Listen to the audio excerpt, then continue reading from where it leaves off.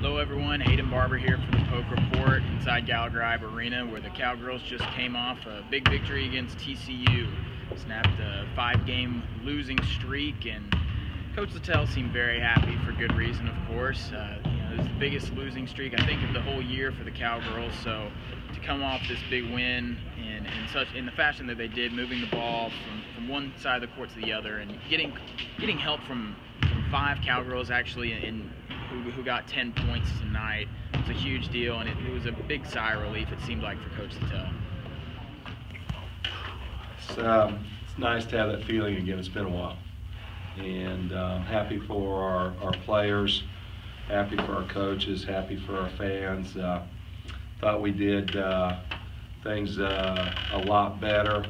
Proud of the way our the way our kids have hung in and, and uh, played tonight, especially under adverse conditions. So a uh, lot, lot of positive things you could draw on. TCU's hard to guard. They throw five people out there that shoot over 38% from the three line, and uh, it's just a big challenge for us. And they score the basketball so well. For the most part, I thought we did a pretty good job. We we started fouling too much in the fourth quarter and allowed them to uh, score with the clock stop, but our ball movement was good. Um, they were getting double teams to us early, and we started swinging the ball at the end of the first half and did it from pretty much the second half. And um, this is a halftime stat. Do we have somebody have one right there? Thank you. Um, you know, uh, I thought we did a pretty good job attacking their press and, and playing north and south and, and going there. Uh, had some kids step up. Diana Mosley played probably the best game of her career here, and when you can add somebody that can score off the dribble a little bit, it it helps it helps uh, create more opportunities. Cowgirls Kaylee Jensen and Diana Omazi both had career highs tonight for the Cowgirls, and you know it wasn't just them. They they obviously contributed a, a, great deal, but they they like I said they got five five of their players had 10 points at least uh, Diana Omazi, who's been a, a, background player, a complimentary player for most of her time here. She's a senior now, and she went out and, and had her first start in about a month, and she went out and had 16 points. Uh, so it was it was a great performance for her. And Kaylee Jensen had the 14th double-double of the season with 32 points and 15 rebounds. And you know TCU was not giving her any any help. They were triple teaming her, quadruple teaming her, even Littell said. So you, it was it was really good to see them battle through all of that. And here, here's what they had to say about about their big nights. Um, it's amazing. This is an amazing win, especially since it was a total team win. Um, we had five in double figures tonight, and it, was just such a fun game to play, mm-hmm. just because everyone was sharing the ball, we were working together.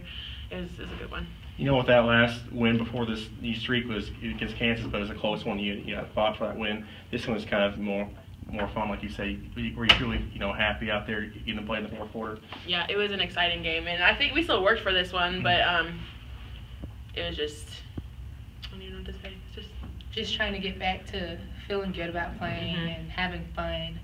A lot of good things happen when you're actually out there and you're having fun. And so we're just trying to like keep each other encouraged and just try to have fun and like see what happens.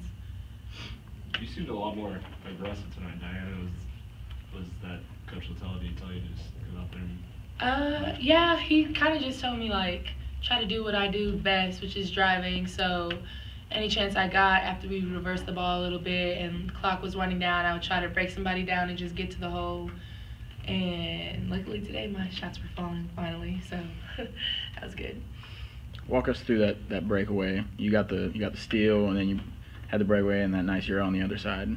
Oh yeah. Well, I got like I kind of tipped it away, and I like I had two defenders, two TCU players going for it, and like both of them kind of looked at each other like, "Oh, are you gonna get it? Are you gonna get it?" And so I was just like, "Okay, well, I'll get it." And and then I just went down and I, I knew she was going to try to take a charge, so I just tried to do my best Ginobili imper- impersonation. That'll do it for me inside Gallagher Iba Arena. Again, the Cowgirls win against TCU. And up next for the Cowgirls, they travel south to Waco to face Baylor. So another huge test for them coming off a big win. So.